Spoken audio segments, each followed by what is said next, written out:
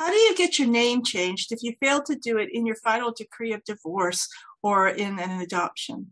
My name is Laura Heard, and I have been helping people with family law in San Antonio, Texas, and surrounding counties for over 35 years.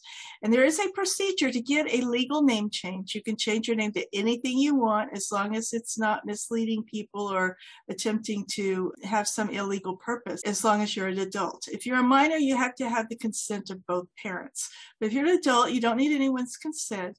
There is a petition that you would file there is a filing fee, and then your attorney would also prepare the final order for the judge to sign.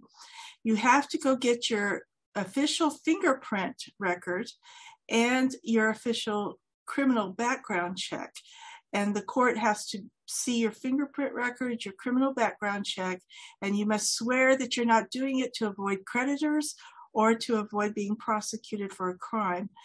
So if you have no illegal purpose, you have a good reason to get your name changed, you can change it to anything you want, but there is a court procedure to go through.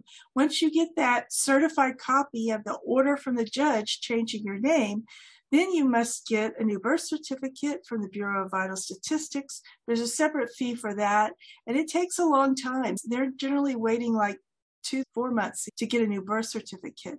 With your new birth certificate and the order changing your name, you can go get a new driver's license. And with that, you can go get a new social security card.